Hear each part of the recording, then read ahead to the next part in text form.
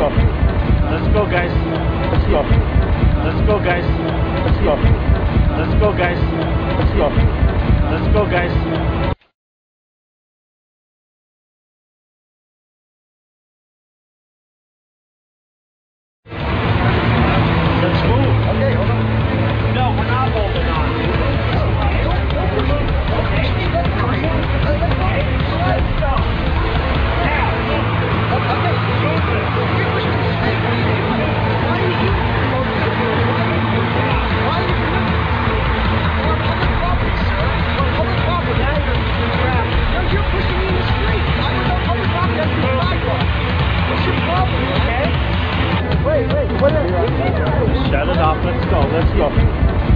Guys.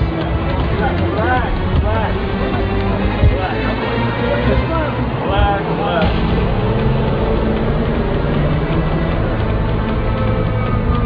You're under arrest,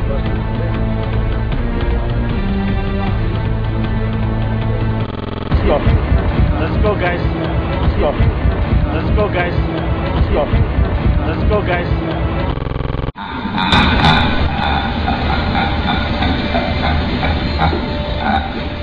This year, more than $50 million has been raised to stage this convention. Where did it come from? From corporations, unions, and their lobbyists. Since 1996, our chief investigative correspondent, Brian Ross, has been looking into the kind of access big money can buy at these conventions, and he's on the money trail again tonight. From the fireworks over the city, to the stretch limousines, to the bananas Foster at the Shell Oil Company party last night. It's lobbyists gone wild here in Denver. The Democratic Party seems to be ignoring what their presidential candidate has made a theme of his campaign. We will not take a dime from Washington lobbyists. But they are this week. Lobbyists and the corporate executives they work for swarmed into Denver over the weekend in their private jets, unloading golf clubs and some prominent Democrats, including Senator John Kerry. At night, the liquor was flowing, and lobbyists and congressmen were schmoozing at dozens of private parties where outsiders were not welcome, including this one put on by the big railroad, CSX. No, you're not going to shoot me. Wait, wait, You're going to show me your ID. Ethics watchdog groups say Senator Obama could have stopped much of this.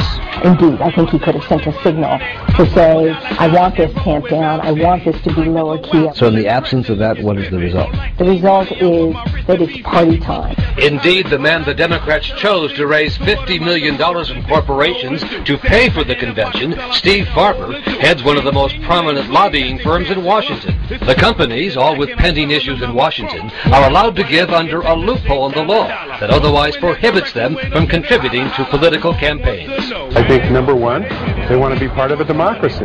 Last night at the Denver Art Museum, Farber and his lobbying and law firm hosted a huge blowout of a party.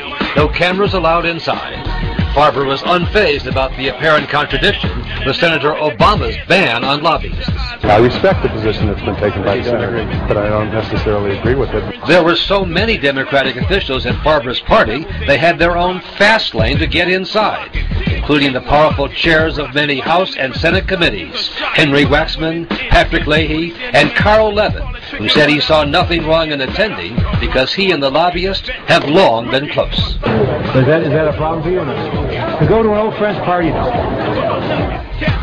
A spokesman for Senator Obama says he wanted to make significant changes in how the conventions are paid for. The, the primary season ended too late for him to do so.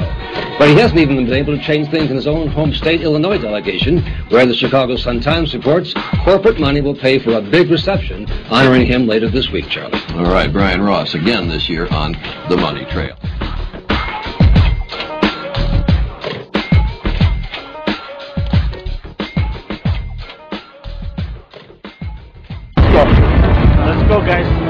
Go. Let's go, guys. Let's go. Let's go, guys.